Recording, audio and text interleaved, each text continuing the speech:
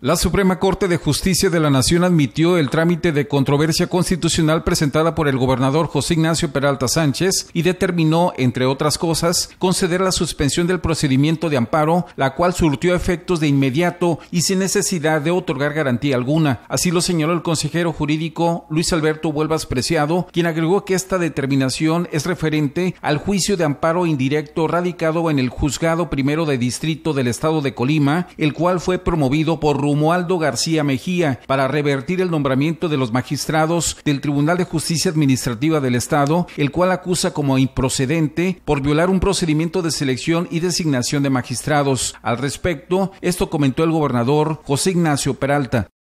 Elementos para plantear una controversia, y nosotros creemos que hay, se vulnera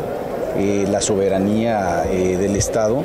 y en ese sentido, pues me parece que es muy sano que esto se eh, analice, se discuta con seriedad en la Suprema Corte de Justicia. El 26 de abril del año en curso, el gobernador promovió una controversia constitucional ante la Corte, la cual surtió efecto el pasado 2 de mayo, quedando suspendido el procedimiento de amparo y ejecución interpuesto por Romualdo García Mejía y por el juzgado primero de distrito, notificándosele inmediatamente la resolución de manera digitalizada al Tribunal Colegiado del 32 Circuito y al juez primero de distrito del Estado de Colima. Esta resolución está basada en que el Ejecutivo del Estado considera que la determinación del Tribunal Colegiado del 32 Circuito, con sede en Colima, invade la esfera de competencia de los poderes ejecutivo y legislativo del Estado al desconocer la facultad y competencia constitucional del Ejecutivo para promover los nombramientos de los magistrados del Tribunal de Justicia Administrativa y someterlos a la aprobación del Congreso del Estado. Pedimos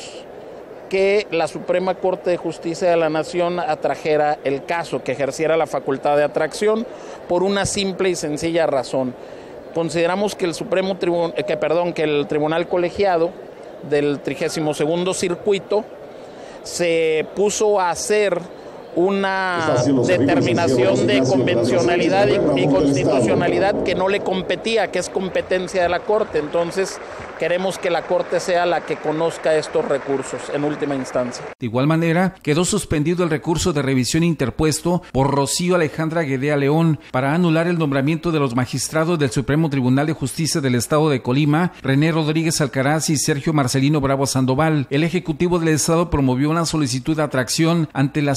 Corte de Justicia de la Nación debido a que considera que es la competente para conocer y resolver en definitiva la controversia planteada por la quejosa, la cual no demostró el interés legítimo para impugnar la designación y aprobación de los dos magistrados. Noticias 12.1 Marcos Rivera.